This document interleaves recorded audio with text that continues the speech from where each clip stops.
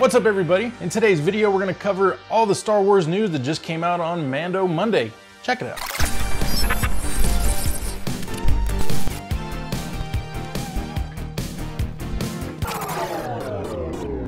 What's up everybody and welcome back to Pop Empire. We are happy to have you. Like I said, we're gonna go over all the information that just came out on Mando Monday, which when this video comes out will be Wednesday, so two days ago. I'm sure a lot of you have already heard this news, but just in case you haven't, we'll give you the rundown right now. Now first starting off with Target. Now the first thing that popped up there was there is a new Mandalorian exclusive that uh, hit for pre-orders on Target's website on Monday. Uh, however, I believe those pre-orders have since sold out. They sold out pretty quickly. However, keep your eye on that in case they reopen. And what that was was a Mandalorian and Baby Yoda two-pack Black Series figures. Uh, comes with a Baby Yoda pod and a number of other things. And the helmet actually comes off of the Mandalorian, so you can see uh, Din Djarin's face. Pretty interesting. The head sculpt is kind of interesting looking but I think it's really cool. It's an awesome addition. And also speaking more about Target, there's actually a number of other exclusives coming up. I'm popping all those up on the screen right now so you can see there's a number of Mandalorian exclusives. There's also a Galaxy's Edge exclusive coming in December.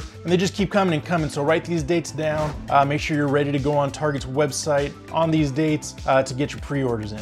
Yeah, and also for some of those that were keeping an eye on uh, that release at Target. It was actually just listed as the Mandalorian build-up pack. I know a lot of people were wondering what that was going to be, so that ended up being that cool Black Series set. Now Walmart also had a Mandalorian build-up set, and that's actually part of the Vintage Collection series, which is the Mandalorian figure. Again, his helmet does come off as well. It does come with the child. And also included in this set is that cool little ice cream maker that has the Beskar in it, and there will also be some little Beskar pieces included. So that also went up for pre-order on Monday. I'm not sure if that is still available. I would imagine that it's sold out by now. Luckily, I was able to score one, but just like all the other pre-orders, they were just kind of in and out all day, except for that Target one. Uh, as my brother said, that went very quick. So luckily we were able to snag one of those too. So video coming soon.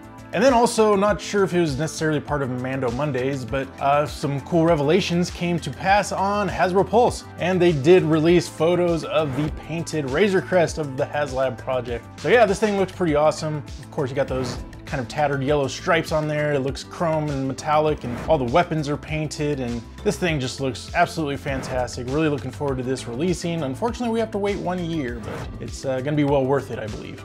Yeah, and keeping on with the Vintage Collection line, uh, we actually did see two new figures added to the Vintage Collection from the Mandalorian TV show, which was the Armorer and Moff Gideon. Uh, both of these were up for pre-order on Hasbro Pulse. Uh, I believe they are also up for pre-order over on Dorkside, just in case Hasbro Pulse is sold out. So we will leave a link down below for those. And that's another thing too, for a lot of these pre-orders, uh, check out Dorkside. Uh, a lot of times they'll still have them available uh, when the other websites have already sold out their pre-orders. So make sure you go ahead and check them out as well.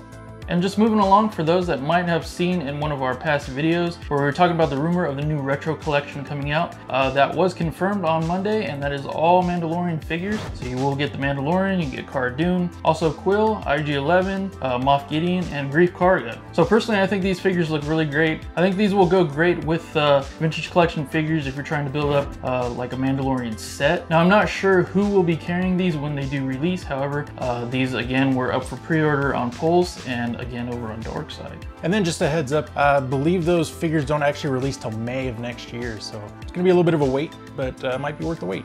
And then one other thing I wanted to point out to you, it is Mandalorian and it is a figure. However, it wasn't announced on Mando Monday. It was actually announced, I believe, at one point last week or the week before. Uh, and it is the new Bandai Meisho movie realization uh, Ronin Mandalorian figure. This thing is awesome. Of course, he looks like a samurai. Uh, there's a number of other figures in this line that you may have seen, like Darth Vader. Uh, there's an interesting Kabuki C-3PO, uh, a number of other figures. I believe there's a Darth Maul. There's even a Kylo Ren and a Captain Phasma. But these things are fantastic. Uh, I would say go ahead and check out uh, this new uh, Meisho movie realization, Ronin Mandalorian. I'll put all the links to all this stuff down in the description.